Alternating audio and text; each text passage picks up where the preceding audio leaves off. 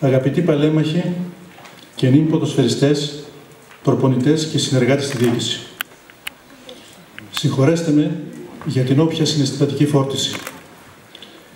Όμως, είναι πραγματικά ορισμένες περιπτώσεις που το μέγεθος της στιγμής που ζει σε ξεπερνά. Σε ξεπερνά γιατί έρχεσαι αντιμέτωπος με την ίδια τη ζωή σου, την ίδια την ιστορία. Μια τέτοια στιγμή λοιπόν είναι η σημερινή. Βλέπω σε αυτή την αίθουσα πρόσωπα και ανθρώπους, φίλους, που ήσασταν τότε όλοι δίπλα στον αείμνηστο πατέρα μου, τον Ορέστη.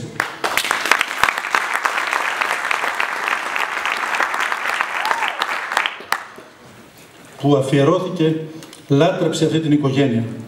Λάτρεψε την Αθλητική Ένωση Ποντίων. Σήμερα λοιπόν, αρκετά χρόνια μετά, το καθήκον μας καλεί να ξαναζωντανέψουμε αυτή την ιστορία και να δυναμώσουμε την ΑΕΠ.